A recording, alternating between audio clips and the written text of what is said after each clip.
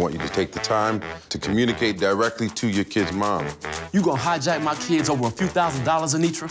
Expressing how you feel is a huge part of the healing process, gentlemen. You, you, and you. I am not an ATM machine. Be brutally honest.